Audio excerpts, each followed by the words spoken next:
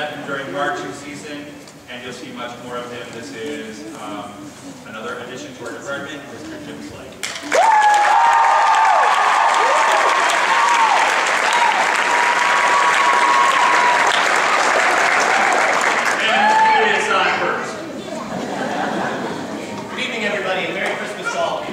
Uh, I'm really excited to be here. It's been a blessing working with this concert band. Uh, it was already a pleasure working with them during season, and now we're in a different type of environment, ready to put on some holiday music for you.